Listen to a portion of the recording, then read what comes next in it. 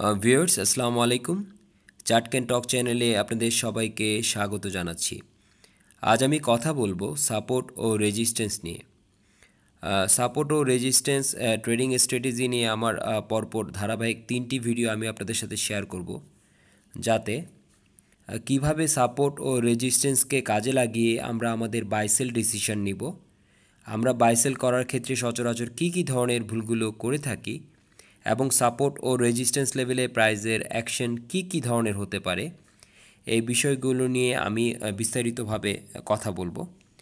আশা করি ভিউয়ার্স আপনাদের ভালো লাগবে। তো প্রথমেই আমরা জেনে নেই সাপোর্ট ও রেজিস্ট্যান্স কী। সাপোর্ট হচ্ছে একটি প্রাইস লেভেল যেখানে আসার পর প্রাইস সাপোর্ট পায়, অর্থাৎ প্রাইসটি আর নিচের দিকে নামে না। এ লেভেলে এসে প্রাইসটি বাউন্স ব্যাক করে। যেখানে বায়াররা অনেক বেশি স্ট্রং সাপোর্ট লেভেলে ডিমান্ড ক্রিয়েট হয়, যার কারণে প্রাইস এ লেভেলে এসে রিভার্স করে, অর্থাৎ ঘুরে যায়। আর যদি একবার লেভেলটাকে ব্রেক করে ফেলে, তাহলে প্রাইসটি নিচের দিকে নামতে থাকে, যতক্ষণ পর্যন্ত না আরেকটি সাপোর্ট লেভেল খুঁজে পায়। আর ভাইস ভার্সা হচ্ছে রেজিস্ট্যান্স রেজিস্ট্যান্স একটি প্রাইস লেভেল যেখানে পৌঁছানোর পর প্রাইসটি বাধা পায়, অর্থাৎ আর উপরে উঠতে পারে না। যেখানে সেলাররা অনেক বেশি স্ট্রং অ্যাগ্রেসিভ যার কারণে প্রাইস বাউন্স ব্যাক করে। অর্থাৎ লেভেলটিকে না ভেঙে নিচে নেমে যায়। আর যদি লেভেলটিকে ভেঙে ফেলে, তখন এটা ক্রমাগত উপরের দিকে উঠতে থাকে, যতক্ষণ পর্যন্ত না সে আরেকটি রেজিস্ট্যান্স লেভেলে পৌঁছাচ্ছে।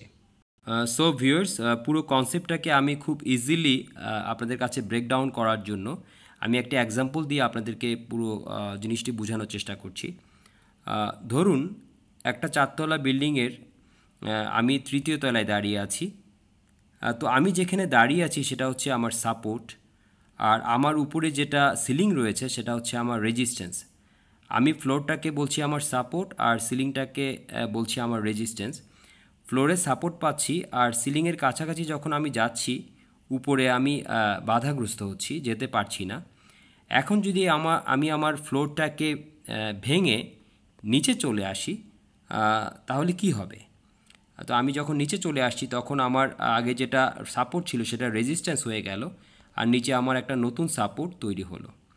আর আমি যদি আমার তৃতীয় তলার সিলিংটিকে ফুঁড়ে মানে ভেঙে উপরের দিকে উঠে যাই, সেক্ষেত্রে আমার আগে যেটা রেজিস্ট্যান্স ছিল সেটা আমার এখন সাপোর্ট হয়ে গেল আর উপরে একটা নতুন রেজিস্ট্যান্স ক্রিয়েট হলো। তো ভিউয়ার্স খুব ইজি একটি কনসেপ্ট আশা করি আপনারা বুঝতে পেরেছেন। এখানে একটা জিনিস জেনে রাখা খুবই দরকার, খুবই ইম্পর্টেন্ট যে বিষয়টা। একটা প্রাইস যখন সাপোর্ট ও রেজিস্ট্যান্স লেভেলের কাছাকাছি আসে তখন প্রাইসটা কিন্তু খুব বেশি ভোলাটাইল থাকে, খুব বেশি ফ্ল্যাকচুয়েট করে আপস অ্যান্ড ডাউন হয়। তো এই জায়গায় কিন্তু আমরা কখনোই বাই সেল করব না। কারণ এখানে একটা ব্রেকআউট অথবা ব্রেকডাউন হওয়ার সম্ভাবনা তৈরি হয়। তো এই বিষয়টা ভিউয়ার্স আমাদেরকে মনে রাখতে হবে। ভিউয়ার্স আমরা এখন দেখব কীভাবে সাপোর্ট ও রেজিস্ট্যান্স লাইন আঁকতে হয়। তো আমরা এখানে একটা প্রাইস গ্রাফে দু কালারের ক্যান্ডেল দেখতে পাচ্ছি, একটা গ্রিন একটা রেড তো আমি যখন আমার ক্যান্ডেলিস্টিক প্যাটার্ন অ্যানালাইসিস ভিডিওসগুলো আপনাদের সাথে শেয়ার করব, তখন আপনারা এ ব্যাপারে বিস্তারিত জানতে পারবেন। তো ভিউয়ার্স আমরা জানি যে মার্কেটকে তিনটা টাইম ইন্টারভেলে আমরা দেখতে পারি ডেইলি উইকলি অ্যান্ড মান্থলি তো আমি যখন ডেইলি মার্কেটকে দেখব, তখন এক একটা ক্যান্ডেল হচ্ছে এক এক দিনের যে প্রাইসের যে চেঞ্জটা হচ্ছে। সো আমি যখন মান্থলি দেখব তখন হচ্ছে মাসে কী চেঞ্জ হচ্ছে সেটা আমরা দেখতে পারি। তো আমি এগুলো বিস্তারিতভাবে পরবর্তীতে আপনারা পেয়ে যাবেন। তারপরও আলোচনার সুবিধার্থে আমি একটু বলে নেই, সেটা হচ্ছে একটা গ্রিন ক্যান্ডেল হওয়ার অর্থ হচ্ছে তার ক্লোজ প্রাইসটা ওপেন প্রাইসের উপরে, আর বিপরীত হচ্ছে রেড ক্যান্ডেল তার ক্লোজ প্রাইস হচ্ছে ওপেন প্রাইসের নিচে। অর্থাৎ সে যদি ওপেন হয়েছিল ষাট টাকায় ক্লোজ হয়েছে পাঁচ টাকায়। অর্থাৎ যখন এরকম হবে যে ক্লোজ প্রাইসটা ওপেন প্রাইসের নিচে হবে, তখন একটা রেড ক্যান্ডেল আমরা দেখতে পাই। আমরা এর মধ্যে জেনেছি যে প্রাইস যেখান থেকে বাধা পেয়ে নিচে নেমে আসে, সেটা হচ্ছে রেজিস্ট্যান্স তো আমরা এখানে রেজিস্ট্যান্সটা পেয়ে গেলাম, দুটো পয়েন্ট দেখতে পাচ্ছি। আবার আমরা বলেছি যেখান থেকে সাপোর্ট পেয়ে উপরের দিকে উঠে যায়, সেটা হচ্ছে সাপোর্ট তো আমরা সাপোর্টটাও পেয়ে গেলাম। খুব অল্প পরিসরে আমরা ছোট পিকচারে দেখলাম। তো আমরা এখন বড় পরিসরে দেখি। তো আমরা দেখতে পাচ্ছি এখানে অনেকগুলো টপ অনেকগুলো বটম অনেকগুলো সাপোর্ট অনেকগুলো রেজিস্ট্যান্স আমরা দেখতে পাচ্ছি।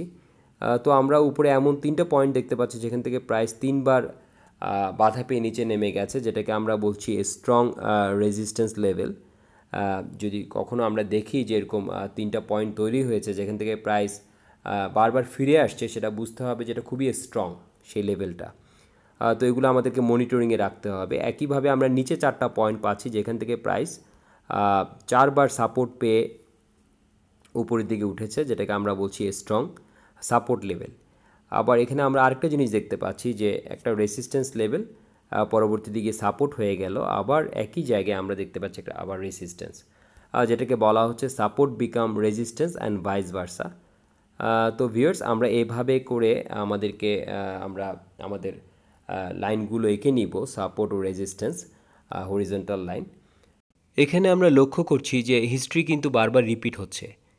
এই যে সাপোর্ট লেভেল আমরা দেখছি রেজিস্ট্যান্স লেভেল দেখছি, এই যে প্রাইসে যে বাউন্স ব্যাক করার যে প্রবণতা এটা কিন্তু ভিউয়ার্স আমার, আপনার পক্ষে আসলে আমরা যারা রিটেল ইনভেস্টর রয়েছি মার্কেটে আমাদের পক্ষে তৈরি করা একদমই অসম্ভব।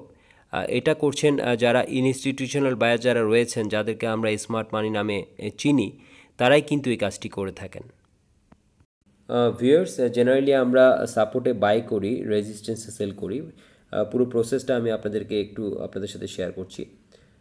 তো একটা প্রাইস গ্রাফে আমরা দেখতে পাচ্ছি, একটা টপ একটা বটম প্রাইস আবার টপের কাছাকাছি রেজিস্ট্যান্স লেভেলের কাছাকাছি। তো আমি অপেক্ষায় আছি আসলে রেজিস্ট্যান্স লেভেলটা কাজ করে কি না দেখার জন্য এবং দেখলাম যে খুব সুন্দরভাবে কাজ করেছে, আবার প্রাইস আবার বটম লাইনের কাছাকাছি চলে এসেছে। তো আমাদের মার্কেটে আমরা শুধু লং করতে পারি শর্ট করতে পারি না। সে কারণে আমি আমার বাই পজিশন নেওয়ার জন্য আমি রেডি আছি। তৈরি আছি। যদি বটম লাইনটা কাজ করে, তাহলে আমি একটা এন্ট্রি নিব।